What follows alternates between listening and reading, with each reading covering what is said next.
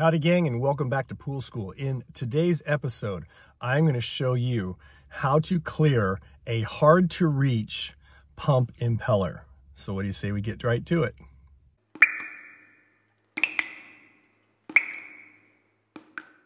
Alrighty, before we get started, I want to thank you once again for watching. Remind you to like this video if you do, subscribe to my channel if you've not done so already, and please share my channel with everyone you know who has a pool. Okay, so your pump or your pool is having a tough time moving water, all right? So often, obviously, uh, it can be uh, the filter needs to be cleaned out, or it could be your pump basket needs to be cleared out, but sometimes it can be due to a clogged impeller. Now, I did a video on clearing a clogged impeller, but this one is clearing a hard to reach clogged impeller. And I'm gonna show you the little tool that everybody should have and everybody probably does have around their house um, to get to it and clear it should you need to. Some of them are a little hard to reach and I'm gonna show you one like that today. But what happens is the impeller is basically inside the pump, all right? It's It sits behind the pump basket, all right? And what it does, it's kind of like an inside impeller, okay, or it's an inside propeller. It start, it creates the suction that pulls the water from the pool and then pushes it, forces it through the filter and then back into the pool. So if your impeller gets clogged, that's one of the biggest reasons why you will have suction issues and your pressure will drop. Now there's other issues, but we're talking about the possibility that your impeller is clogged, okay? And it's pretty easy to clear if you can reach it, but some pumps have a very deep throat and it's very hard to get your fingers in there to clear it. So I have a little gizmo that everybody has, I'm sure you do, that is gonna help you clear that. So let's go to a house and let's check it out. Alrighty, so as not to keep you in suspense any longer, the item that you will be using to reach a hard to reach impeller is this little thing right here. Yep, just a toothbrush, okay? You don't have to go out and buy one. Just take one of your old toothbrushes and grab that. I like ones that are curved, but they help you to reach in there without getting your fingers in there or if your fingers aren't long enough to get in there. But some people also have a little bit of a fear sticking their fingers into a pump motor. I get it because they're concerned it might turn on even when they've put all the precautions in place. So let's take this and let's get to work.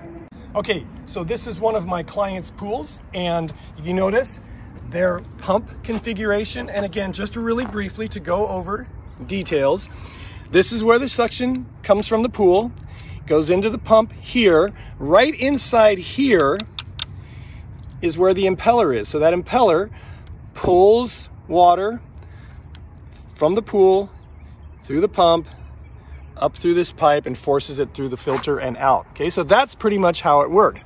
And again, this one has such a deep throat in here that that impeller is right here at the end of this and it's really hard to reach with your fingers. And again some people have a, a, fear of putting their fingers in something like that where it might start up even if you've taken all the precautions to not let it start up. So I get that and you can use the toothbrush to help. Now these have most of these have a band that you can take apart and that's to clean the impeller and also to do the shaft seal and stuff and, and, and O-rings but normally you would unscrew this, take this whole piece off, and these two pieces would separate. Then you could get in there and clear the impeller. The reason I don't like doing that, number one, is it's a pain. It really is. And also, when you take this apart, inside this big part right here, around this entire inside, is a big kind of O-ring and it's the, the, the material, the rubber material is kind of square shaped sometimes. And then inside here, where it pulls out is another O-ring. And the thing that is a pain about these when they pull them apart is you've got to make sure that those O-rings stay seated in their place and that you fit them back in correctly. Honestly, I think I don't care for these pumps very much because of the configuration. I think it's just a, um, a poor design. But that's unfortunately you have to deal with and so you can't get to it. Now again the way they make it so you can get to it is you have to unscrew this band and put it all take it apart put it all back together make sure it all fits completely right. And honestly it's just a pain. So this is my little hack. So let's get to it. Step number one. First and foremost make absolutely sure that there is no way your pump is going to turn on. So the time clock is off. You notice the on tab is nowhere near where it is. The other thing that I like to do is I like to go to the override switch, and this has an override switch. It's kind of hidden, but I can flip that down. It looks like a little light switch. I'm gonna see if I can get to it. Hope you can see that. Okay, I'm gonna turn that off. It's right there. Okay, now I can undo this. Now usually what I use to undo that is this wonderful tool here. It is a universal pipe union tool or pipe union wrench.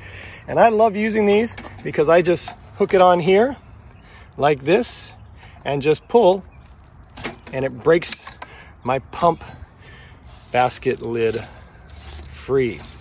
Now I'm gonna take my pump lid off, make sure that the O-ring is still in place. See that black O-ring there? Make sure it's not dry or cracked and make sure that it is lubricated. If it's dry, you can lubricate it with some 820 lube or magic lube or even some heavy duty industrial silicone spray. All right. Then I pull out my pump basket and this one fits in particularly a particular way. And while I'm at it, I'll take it out and I'll empty it. No need to make you watch that. Now, down here, I'm going to show you if you can see it. See that hole right there where the end of my toothbrush is? That's where that impeller is gonna be. So what I do is I kind of fit my, my toothbrush in that hole, push it all the way to the end, and then I just kind of start scooping and scraping, kind of like I'm brushing teeth. And as I pull it out, if there's anything in there, it will usually dislodge it or it will catch on the brush itself and that allows me to clear the impeller. Now you notice there's nothing on there, and the reason there's nothing on there is because I'm pretty diligent about keeping that clean, okay? People always wonder, well, how can that happen, that a pump impeller gets clogged? See those little holes in this basket?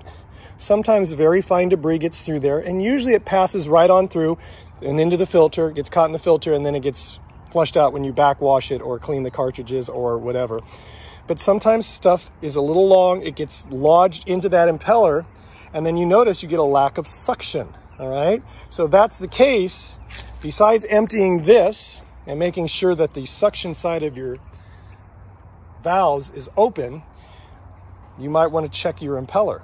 But that's pretty much how you do it. Once you've done that, and again, I do a quick empty of my pump basket, all right? I'm gonna seat this back in making sure that it fits in properly. If you notice this little notch right there, this is a Pentair or a PacFab type of filter. Actually, I take that back. Um, it might be an old one. Slides in, make sure it's in place. Take my pump lid. Again, O-ring is in place. And I just snug it back down. Now don't over tighten this, just make it snug. And then I turn my pump back on via the override switch and at the time clock and it will prime and we are back in business.